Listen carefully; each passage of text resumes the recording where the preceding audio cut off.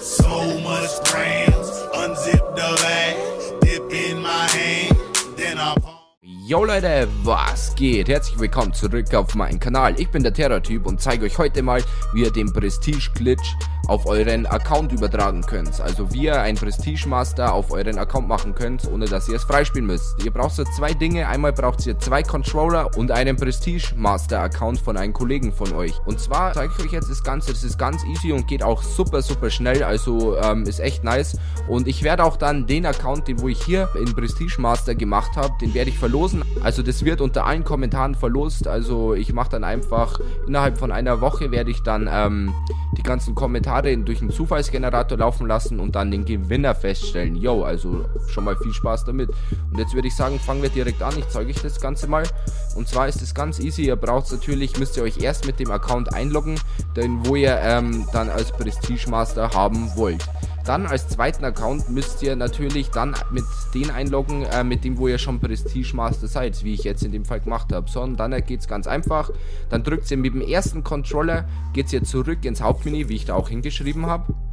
Von da aus drückt ihr dann mit dem zweiten Controller X, dann müsst ihr ein bisschen warten, bis das Ladezeichen da weg ist.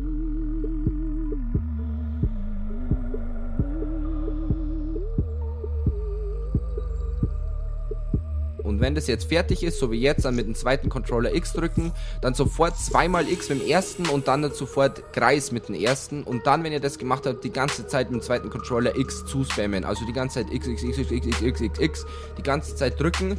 Ähm, und dann ist er eigentlich schon fertig. Also ihr müsst jetzt hier die ganze Zeit durchdrücken, solange wie das halt da steht. Bis dann Verbinden zum Online-Dienst kommt. Ja, dann verbindet er sich zuerst mit dem zweiten. Dann könnt ihr sehen, ah, jetzt ist mein äh, Prestige Master, der ist jetzt auf dem ersten Platz. Dann müsst ihr mit dem ersten Controller ähm, nochmal euch anmelden. So, und dann seht ihr, sind wir Prestige Master Level 63.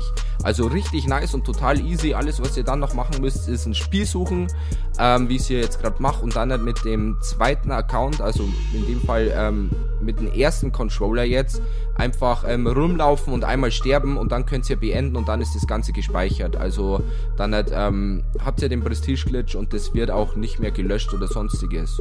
Und yo, das war's eigentlich schon. Ich hoffe, euch hat's, euch hat's geholfen.